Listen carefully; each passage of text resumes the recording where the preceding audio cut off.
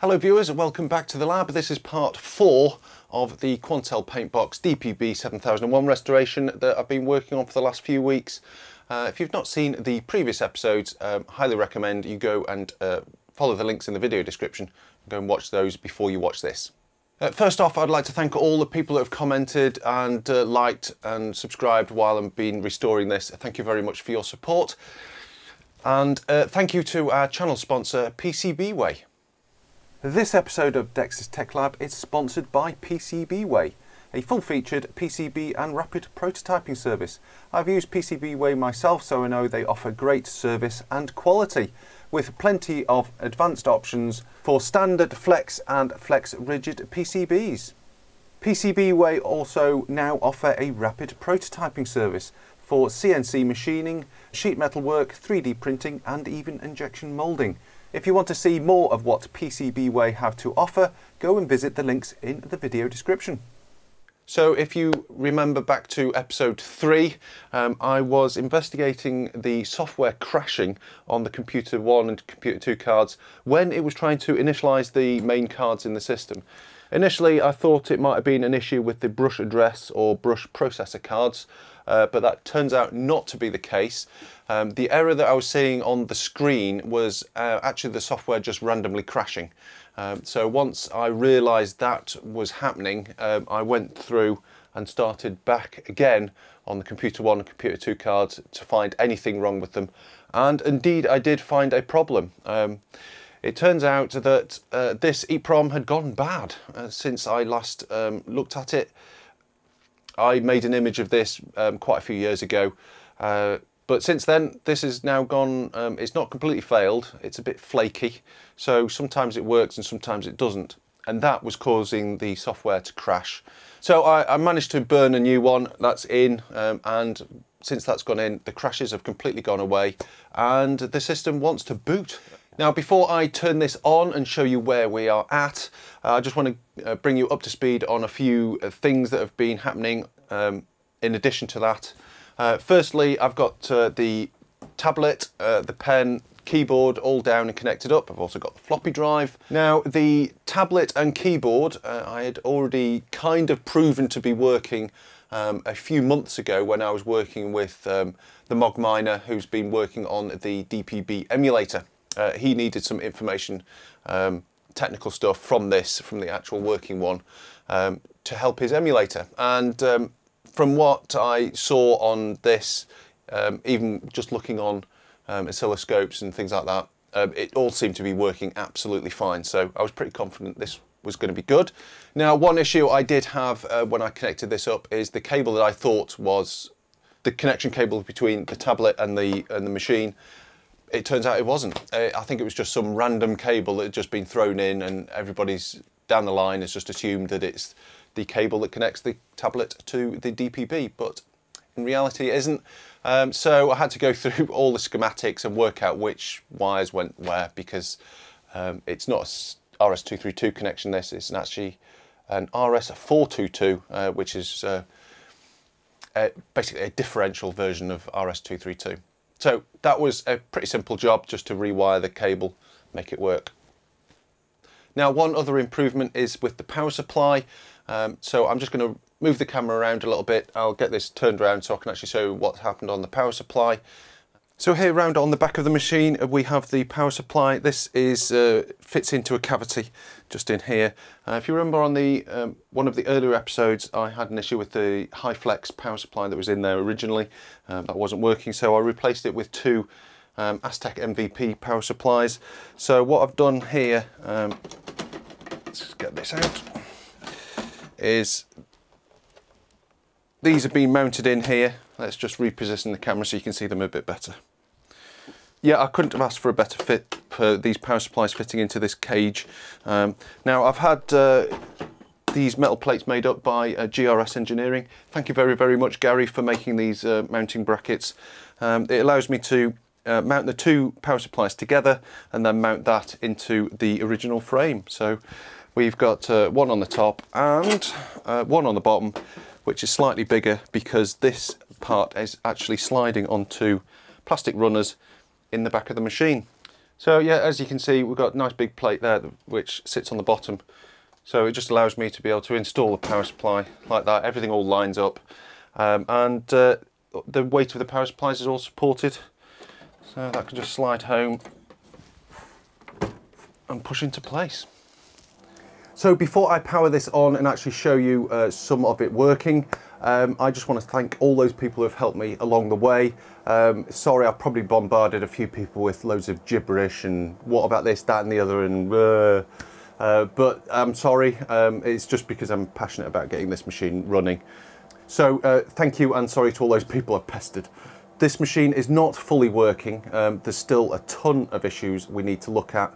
Um, but today is a very, very significant point uh, because we can actually boot into the main painting uh, functions uh, and you can actually see it on screen. And this will be the first time that uh, the DPB has ever been videoed uh, in any kind of quality. All the other videos that I've seen on YouTube have been really poor VHS quality, not garbage because they're just historical, but um, we've never ever really been able to see the DPB in any sort of quality. So you're hopefully going to see that today. Now, another thing I should point out, I've actually only booted this machine once before. Um, I basically chanced it a little bit um, and I'm going to try it again and hopefully it'll behave itself and, and, we can actually get a bit of capture for this so you can actually see it on video. Um, future work down the line should make it much more reliable and safer to power on. Now the reason why it's um, a bit unsafe at the moment is down to the uh, floppy drive and the brush master discs. So whenever you bought one of these machines from Quantel, they supplied you with a brush master disc. Now this contains uh, the brush bitmaps uh, and a text brush which is used to generate the text in the menus. Now of course this would have had the hard disk attached to it. Now what you do if you had a blank hard disk is you would have to copy the brush master files um, from the floppy disk and copy them onto the hard disk. Uh, we don't have a hard disk working here, but I have managed to configure this so it only believes that there's a floppy drive, so it will try and boot um, and load those brush master files off floppy, uh, but it does mean I have to use the original floppies. Made an image of these many, many years ago um, using KryoFlux. Um, we think the image is good, uh, but we've got no real way of verifying it. It has been used in the DPB emulator, um, and that does appear to work, so we're pretty confident we do have a good image um, but it does mean here today I do have to use uh, one of the original discs to try and boot this. Right, uh, first off I'm going to boot uh, the system into the console dialog um, mode which is some of the engineering menus uh, first. So I'm, I've got this set up and I should, I just need to hold down this button and switch it on.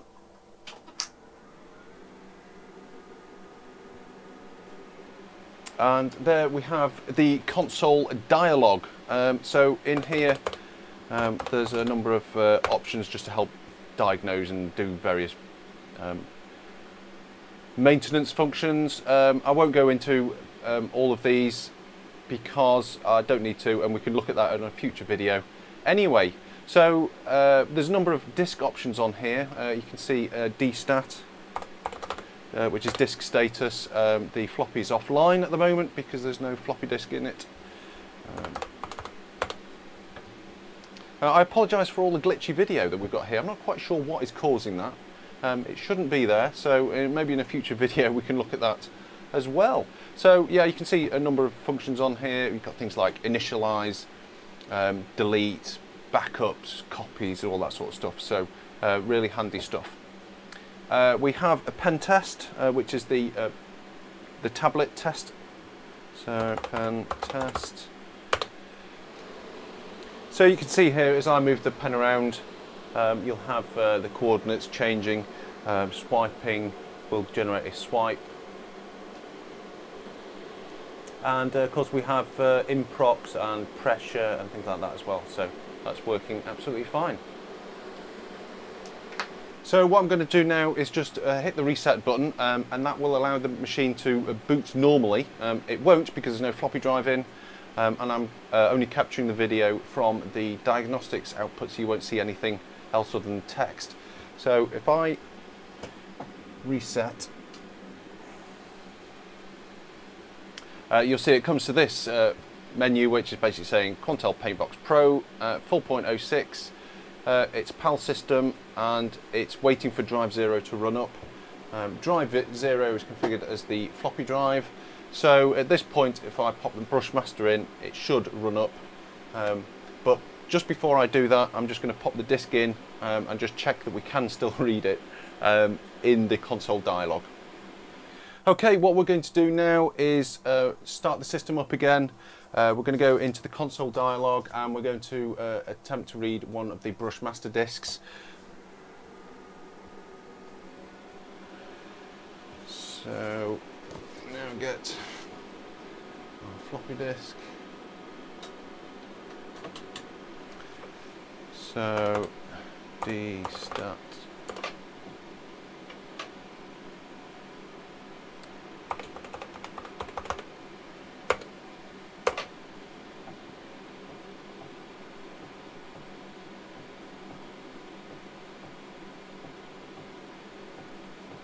Okay, that does appear to be reading. Okay, so what you're actually seeing here is the list of the files that are on this floppy disk. Um, I'm not going to go into the format of this disk because it's quite complicated. Um, it's quite unique to Quantel. But there you can see we have a new text brush, which is the uh, font which is used in the menus. Uh, we've got the normal brush in different sizes, the chalk brush and the airbrush. Uh, so if I just press return now, we should be able to carry on. Uh, 29 tracks in use. Um, tracks is also files, uh, which is quite interesting. Okay, so from here we should be able to um, boot into the painting.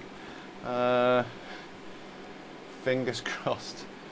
So I'm just going to reset this um, and it'll uh, reboot and begin to load the, um, all those files.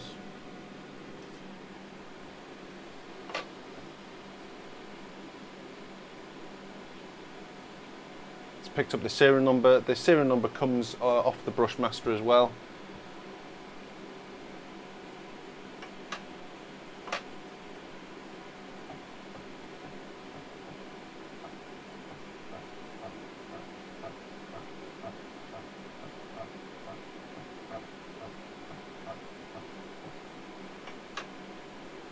Right, so that is it. So what I'm going to do now is switch over to the actual real video output coming from this.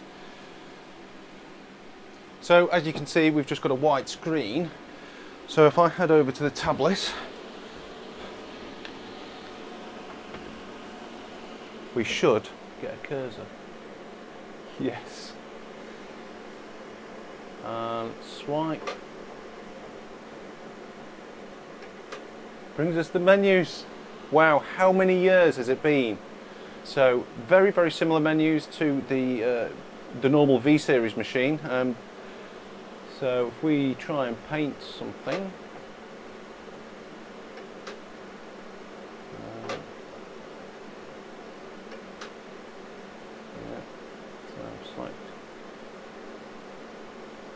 red, swipe off.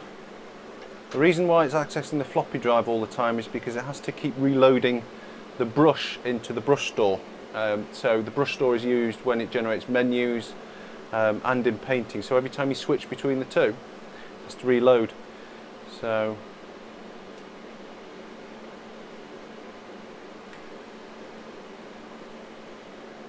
there we go.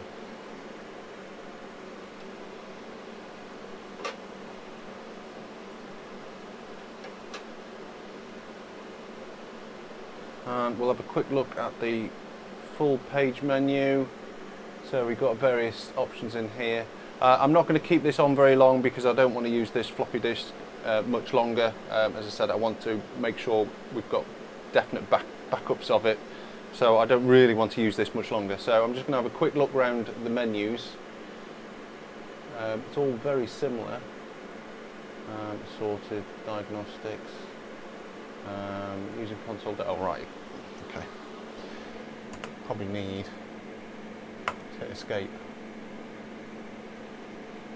Ah, sorry, I can just tap down and it comes back.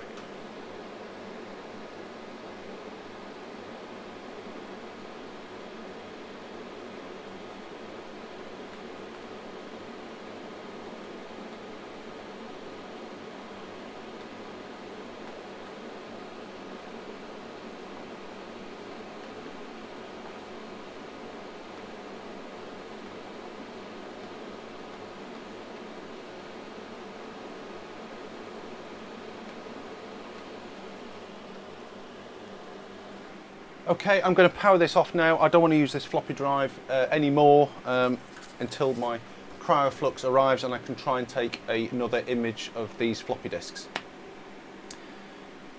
So there you are, after all these years and all the things that this machine has gone through, it's running and it's absolutely incredible. We've actually managed to get here, to be honest. I never really thought it was possible.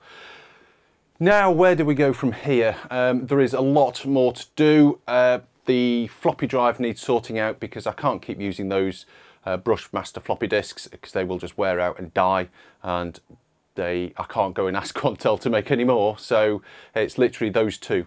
Um, so I'm going to be looking at replacing the floppy drive with something else. I'm not entirely sure what that will be just yet. Might be a Gotek, might be something else, not sure. Um, so there's going to be a, a videos to come on that. There is also all the floppy disks that came with this system. Um, some of them are for the Quantel Paintbox, some aren't. Uh, but there could well be images on there from the BBC um, from way back in the 1980s that nobody's ever seen since then. So it'll be interesting going through those. Um, I might consider doing uh, some kind of live stream with that um, because that might be fun and interesting to do. Um, let me know in the comments if that's something that might appeal. Um, another thing to look at is the big uh, Fujitsu hard disk that came with this machine. Um, that's had a bit of a torrid history as well. Um, I've never been able to get it to do anything other than just power on, um, but it has been connected to the wrong types of system. Um, it might all change when we actually plug it into the uh, paint box. Because the disk format is just so unique to uh, Quantel, um, any other machine that would have uh, been plugged into it would have just basically seen it as a blank disk. Um, so uh, plugging it into the an actual working paint box, it might just spring to life. You never know, and there's there could be 300 megabytes worth of images on there if it's working. Now, because the paint box is not designed to work uh, just from a floppy disk, it is designed to have a hard disk there um, we need to come up with some solution to uh, replace the hard disk. So that might be a hard disk emulator um, of some description, I'm not sure. Um, for those of you who don't know that the, the hard disk in this system is called an SMD disk, uh, which is called a storage media device. It's a very old technology, dates back into the 70s. The video input side hasn't been tested. Indeed, the video input cards aren't even plugged home at the moment because there's some blown components on at least one of them. So they need to be replaced and repaired. So that's another thing to do. So the list is rather rather long on where we go from here. So uh, thank you very much for all the people supporting. Thanks for the people who have helped. Um, you're all awesome. Um, there's going to be more videos coming up on this uh, pretty soon. So stick around. Um, I'm sure you'll enjoy them. Okay thanks for watching everyone. Bye for now